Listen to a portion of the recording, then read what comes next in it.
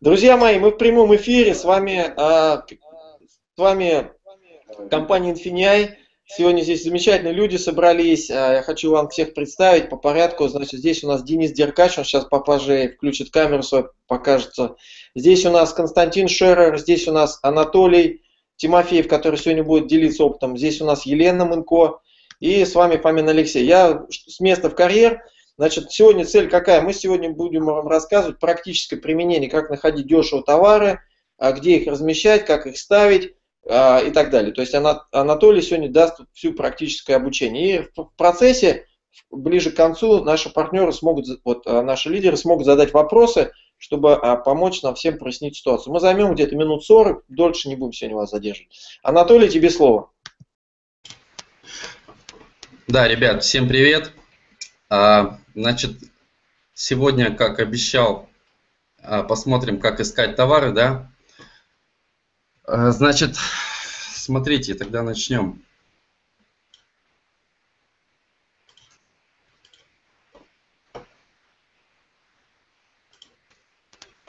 Так, видно мой экран, да? Да, да, видно.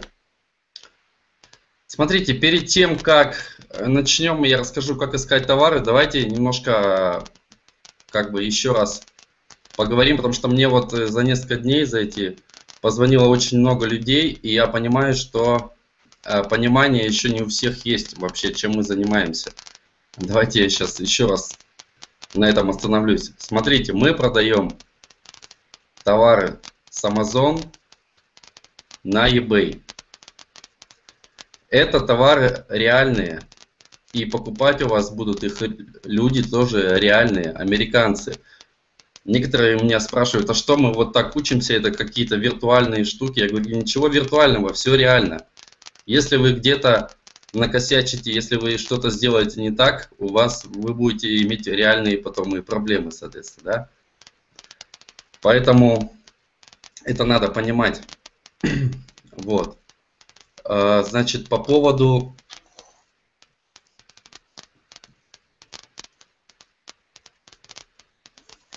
названия хотел остановиться отдельно. А, большинство людей, которые смотрят на eBay товары, они не обращают внимания на описание сильно, да. Первое, что бросается в глаза, это название товара.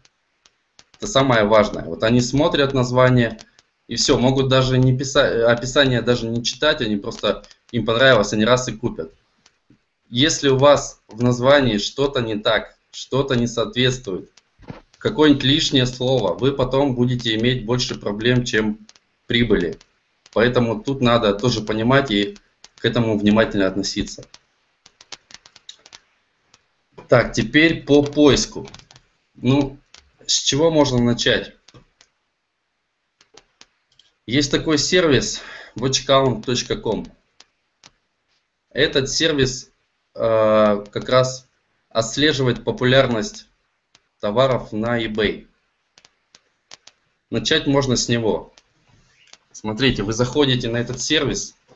Здесь можно по-разному э, смотреть популярность. Допустим, э, Most Watch, да, то, что больше всего смотрят. Можно выбрать категорию, можно посмотреть без категории пока. Смотрите, раз.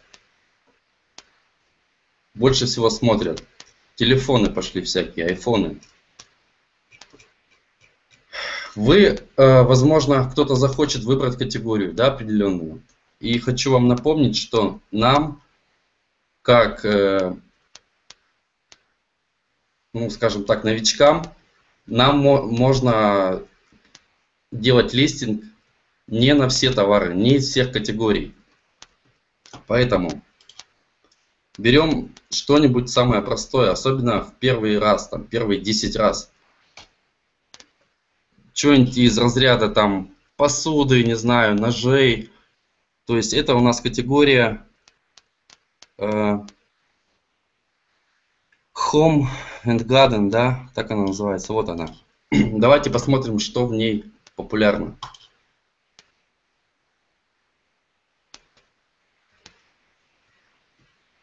Смотрите, вот кто бы из вас да, мог подумать, что в Америке сейчас популярны газовые генераторы, которые работают на пропане. Никогда бы не подумал. Ну, тут стулья всякие, вот, да, в том числе ножи. Вот, то есть первичную информацию вы можете взять здесь, чтобы по Амазону там в судорогах не вводить разные слова и думать, что бы такое подобрать. Вот она здесь, вся эта информация есть. Также здесь можно искать не только потому, что сейчас вот смотрится лучше всего на eBay, да, а по ключевым словам, которые вводятся на eBay в качестве запроса в поиске. Смотрите, это у нас э, топ eBay searches. Заходим. Ну, давайте пока без категории, просто посмотрим. Вот они, запросы. PlayStation 4, Xbox, iPad. Понятно, да? И смотрите, еще сейчас покажу просто пример реальный. Я зашел в категорию игрушек. Так, как она здесь называется?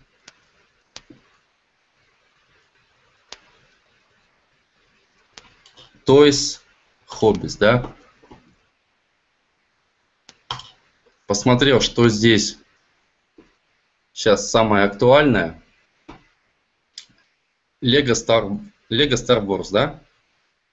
Вот этот Lionel я посмотрел, это такие поезда игрушечные и всякие другие модельки там, ну неважно. Посмотрел Lego Star Wars, пошел на Amazon, нашел их, сделал листинг. Сейчас где он у меня? Вот, да.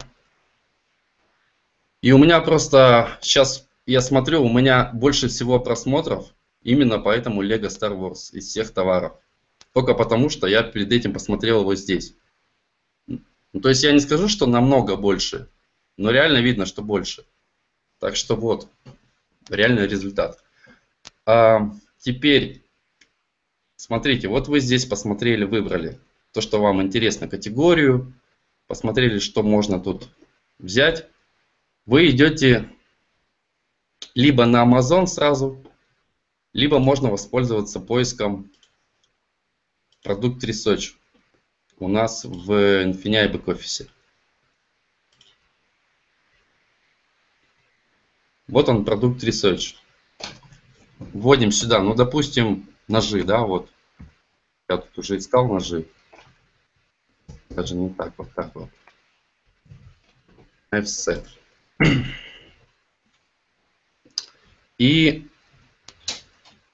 смотрите, здесь нас интересует то, что больше 35 долларов, потому что бесплатная доставка по США. По США, да, вы помните. Сортируем по цене после этого. Ну вот давайте зайдем на Amazon и посмотрим вот эти ножи за 50 долларов.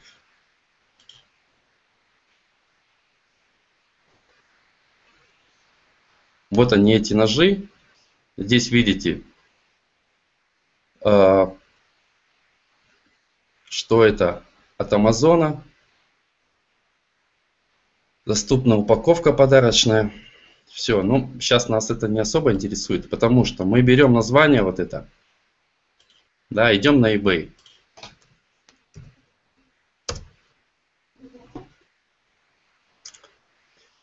Идем на eBay. Здесь ищем эти ножи. Вот они. Теперь давайте посмотрим, сколько было продано. Для этого ставим галочку Sold Listings. И это вот те ножи, которые были проданы. Смотрите, если здесь их много, именно таких ножей уже продано было да, за последнее время, принципе, вы можете остановиться и на них, и взять их в качестве товара. Если их немного, ну вот смотрите, здесь раз, два, три, четыре. Ну вот, пять, по-моему, тоже они. Ну не так много на самом деле. То вы заходите просто на товар, который уже был продан. И здесь вот нажимаете остальные товары этого продавца. И здесь уже смотрите то, что вам подходит по цене. Так, ну вот это какая-то машинка для волос, да. Но я не думаю, что она реально там хорошо продается. Можно посмотреть.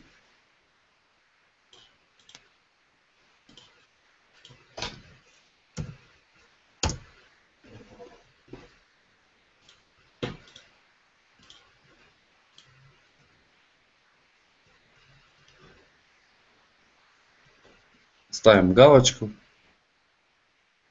и смотрим. Вообще одна продажа вот 25 января. Ну как-то немного, да? Все, идем дальше. Смотрим, что тут еще есть. То, что нам интересно по цене. Еще вот какие-то ножи есть.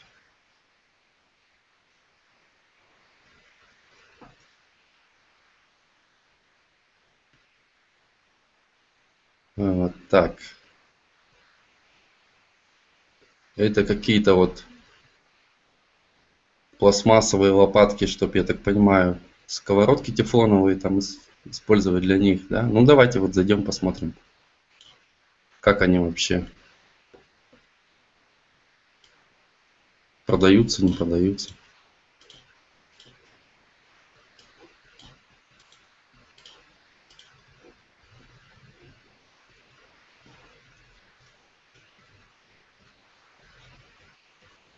Ну, конкретно эти не очень. Но вообще вроде как, э, вроде как да. И вот таким образом, таким образом вы просто перебираете эти товары у этого продавца, который уже, грубо говоря, знает, что делать. Да, вот это все он продает. И это у него продается. Поэтому здесь вы скорее всего, найдете то, что вам интересно. Так. Вот посуда, но она для нас дорогая, да, в долларах это получится 134 доллара, но это слишком много. Нам нужно подешевле товар какой-то. Ну вот, допустим, эти миски. 42 это значит, что на Амазоне они, скорее всего, будут стоить меньше 35, это нам тоже не подходит. Так что давайте возьмем вот эти ножи, да, в качестве примера. Тем более вот здесь они 70 долларов у него. Возьмем прям вот это название. Пойдем в продукт Research.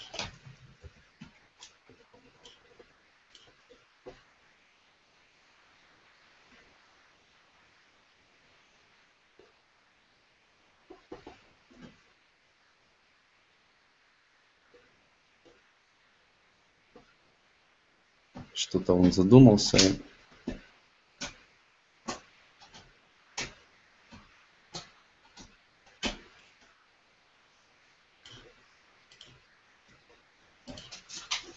И все, ничего не происходит.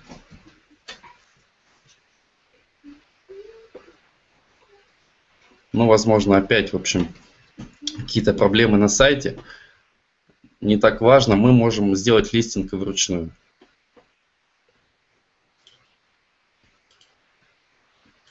Просто нажимаете eBay, создать листинг. Все, и здесь создаете листинг. Сейчас не буду показывать, потому что это тоже, во-первых, уже рассказывалось, во-вторых, мы потом можем отдельное занятие еще поэтому сделать. А, что я хотел сказать еще? Вот по моим наблюдениям, я говорил вначале о категориях. В принципе, Infineon нас страхует. Если вы попытаетесь, вы возьмете товар, который не подходит, вам нельзя его да, на eBay выкладывать, то Infineon вам сделает предупреждение. вы не сможете такой товар опубликовать. Таким образом, они нас страхуют, чтобы мы не наделали каких-то ошибок там лишних. Вот, поэтому мне вот это тоже... Просто я попробовал опубликовать товар в категории автомобилей и запчастей, да, и вот у меня не получилось. Так, ну, вот в целом, наверное, все по поиску. Это один из способов. И я еще хотел сказать, что в Infinii уже большая часть видео переведена. То есть они с субтитрами. И вы можете ими пользоваться. Смотрите, для тех, кто еще не знает, вы просто запускаете видео, переводите на русский,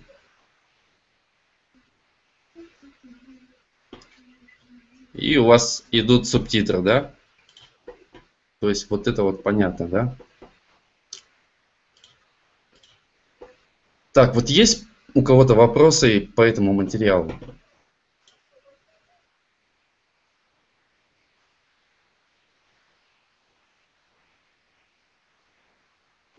А, ребят, из тех, кто вот у нас э, здесь в чате на, на хангауте.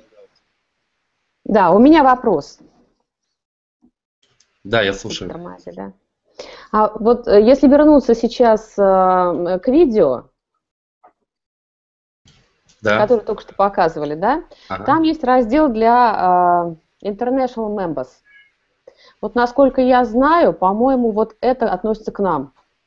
А вот все, что до этого, eBay, тренинг, Amazon, это вроде как к американцам. Вот насколько это, что не знаешь об этом? То есть нужно, нам нужны видео по, э, именно из International. Да, но дело в том, что, смотрите, International у нас сделано для всех, да? Для всех стран вот этот один раздел.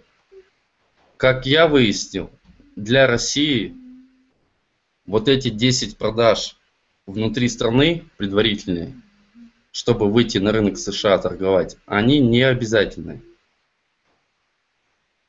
Поэтому в России достаточно завести аккаунт на eBay и сразу же можно торговать на США. Ну, а соответственно, торговля на рынке США это уже вот этот первый раздел по eBay.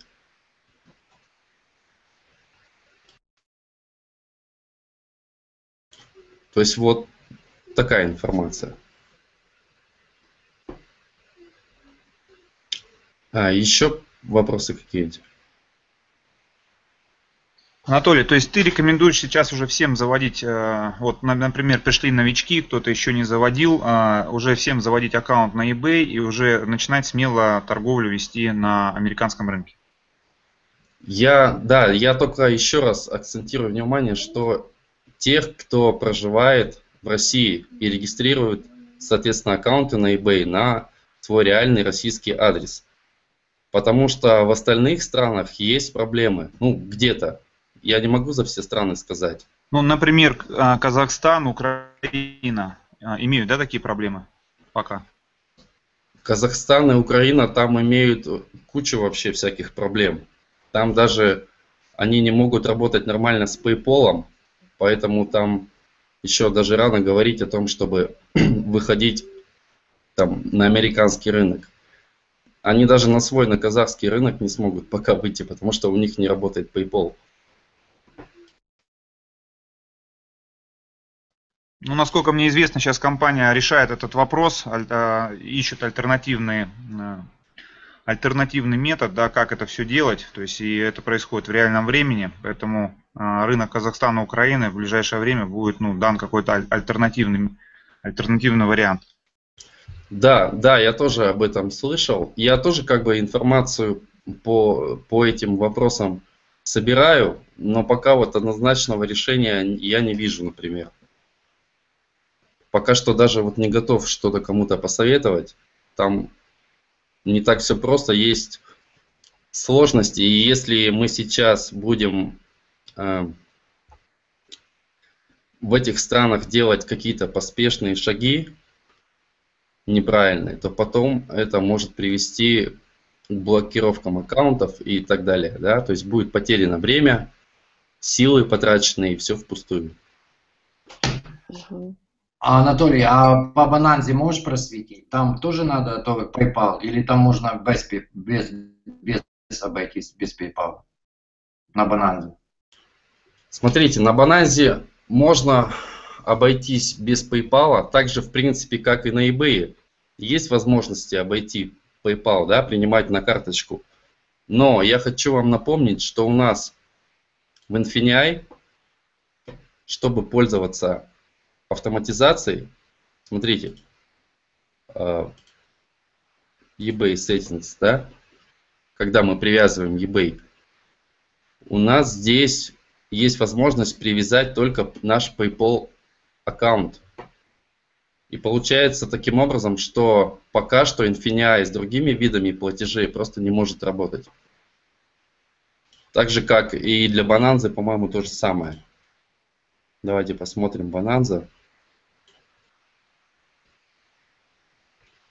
Да, видите, здесь PayPal аккаунт email и все. И больше никаких настроек нет. Это значит, что ну, я не знаю, насчет вот этих метода перевода прямо на карты, чекаут, так называемый, тут еще нужно разбираться, и мне вот еще пока непонятно, можно ли это нам использовать или нет.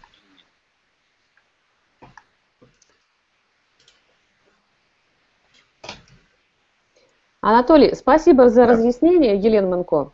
Да. И у меня, знаете, какой вопрос, а может быть просто даже не вопрос, а а, некоторые замечания, потому что э, э, наши структуры, партнеры из Казахстана сейчас очень волнуются э, в ответ на ваши слова. Поэтому я думаю, что можно сказать так, что если, скажем, на вложенные 50 долларов а, партнер будет получать 250-300 долларов на спрингборде, то я думаю, что для многих это, а, так сказать, неплохое, неплохое вложение на э, тот срок, пока компания будет искать какие-то альтернативные варианты. Как вы думаете? Не, конечно, я просто мы сейчас э, вариант со спринтбордом не рассматриваем вообще, да. Понятно, что торговать на спринтборде можно вообще из любой страны. Здесь вот эти все нюансы eBay, PayPal, они не важны, да. То есть доход со спринтборда будет получать любой партнер с любой страны. Здесь проблем нет. Так что... А, я, я потому что я выставила свой товар и посмотрела приблизительно, сколько я получу на свой пакет Prime. Вот, и у меня получилось, в принципе, где-то а, вот эта цифра, которую я озвучил. То есть на 50 долларов получилось где-то 250-300 в месяц. В принципе, это неплохо для многих людей. Ну да, если если к этому так относиться, то да, это неплохо. Ну, просто я, например, хочу большего, да? Многие, наверное, тоже хотят. И мы сейчас говорим именно об этом. А, конечно, спринборд, здесь вопросов нет. Это для новичков, вообще для тех, кто вообще только зашел, прикоснулся, он даже не знает еще, может быть, что такое eBay, что такое Amazon и как, как вообще все это происходит. Самое простое и самое первое, что нужно сделать, это зарезервировать товары на спринборде, заодно немного подучиться, да, как их там искать, ну, хотя бы первоначально. И таким образом уже втянуться в эту тему и дальше уже делать все остальное. Да, еще есть маркетинговая составляющая, которую тоже не надо забывать. И, э, например, человек, который инвестировал да, в свой бизнес там 50-100 долларов, а получил 300 долларов, ему ничего не мешает приглашать других людей, да, а, также заниматься бизнесом, получать еще с маркетинговой составляющей, а там можно зарабатывать и тысячу, и пять тысяч, и десять тысяч долларов в месяц. То есть это тоже никто не отменяет, и а, это сейчас все работает, и все действует в реальном времени. Да, конечно, конечно. Мы просто сейчас об этом даже вот не говорим, потому что у нас было запланировано именно вот такое обучение по поиску товаров. Конечно, эти все вопросы, это, это все понятно. я по поиску еще, наверное, хотел что-то добавить.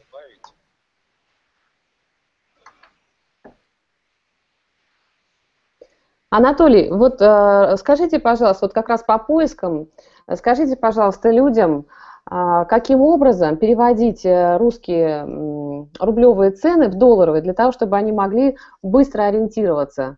Э, в принципе, э, это достаточно легко, я думаю, вы это знаете, но просто покажите.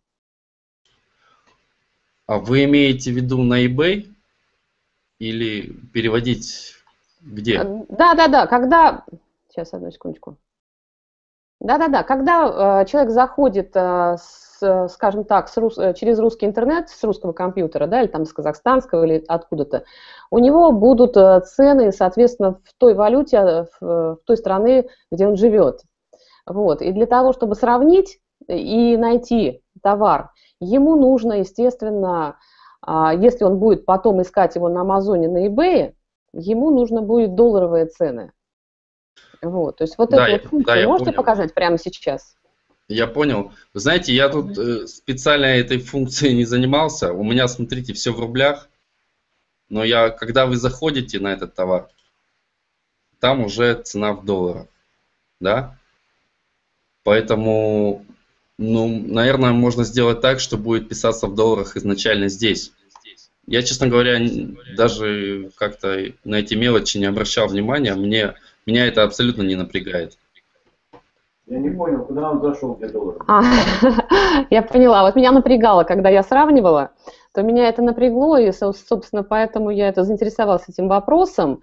У вас будет uh, search uh, в правом верхнем углу, и там дальше вы уже будете, вам будет подсказывать система, что делать. Вы просто будете, надо будет сделать отмену uh, рублевого эквивалента и поставить доллары. Там очень просто все.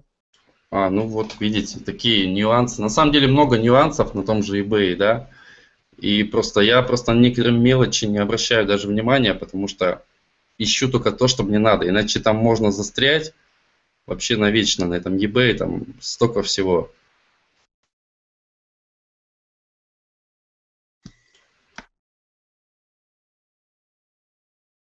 Так, так Олег... Друзья мои, спасибо. Значит, я так понял, что мы уже, э, уже как раз очень продуктивно сегодня пообщались и много Анатолий рассказал. Э, если таких больше конструктивных вопросов на сегодняшний день нету, то мы как раз не планировали долгую сегодня делать встречу.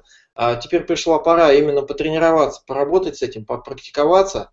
И, э, Анатолий, давай запланируем. То есть мы, наверное, на, на следующей неделе, на понедельник мы запланируем следующую нашу встречу мы будем дальнейшее проводить обучение, чтобы уже подвести людей к, а, к тому, чтобы люди практически стали зарабатывать там по несколько сот долларов в день на торговле. Я так понимаю, Толь, это то, к чему мы стремимся, правильно? Да, да. Ну, отлично, можно и на понедельник. Я сейчас просто хотел, да, хотел напомнить, что, ребят, для тех, кто еще не понимает или забыл, что делать, смотрите, поиски я показал, как искать. Вы, значит, э, Делайте первый листинг на eBay вручную. Тоже видео есть. Все, есть и на сайте Infinia в обучении. Если вам там что-то непонятно, заходите на мой сайт, смотрите там. И после этого уже привязываем наш eBay к Infinia. И после этого можно делать автоматизированные вот эти листинги. Отлично, отлично. Хорошо, друзья мои, давайте на этой позитивной ноте а, Значит, завершаем. У нас на, на, на, на канале YouTube есть а, два вот этих обучения. Есть видеоролики в бэк-офисе Infinii. А, просто начинаем практически применять эти знания. Хорошо, друзья мои, с вами Фомин Алексей. До новых встреч. Всего вам доброго. А, спасибо, что вы нашли время сегодня с нами а, провести вот это а, обучение. Всего хорошего. До свидания. Успехов.